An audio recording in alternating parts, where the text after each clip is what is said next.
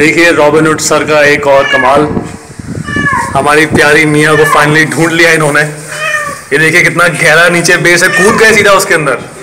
हमने कहा सर रुक जाओ रॉबिनहुड सर दो सेकंड रुक जाओ। नहीं कूद गए सीधा। और ये मियाँ को फाइनली अपनी बाहों में लिए। सर हाँ मेरा बच्चा। कुछ कहना चाहेंगे अपने ऑडियंस को? ये बिल्ली नहीं है। जो पेट्स होते हैं ना वो आपकी जान से भी ज़्यादा कीमती होते हैं। और ये बच्चा 10-12 दिन पहले घूमने चला गया था। बहुत परेशान हुआ मैं।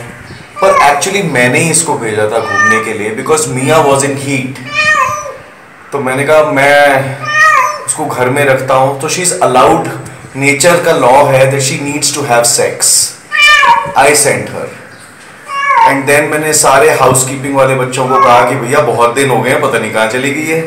और अभी घंटी बजी और दो बच्चे आए गणेश और आपका नाम? नोएल। नोएल। ये है गणेश और ये है नोएल। और इन्होंने कहा कि सर डक्ट में बिजली की डक्ट में एक बिल्ली की आवाज़ आ रही है। और हमने जब उसको मियाँ बोला तो उसने आवाज़ देनी शुरू करी।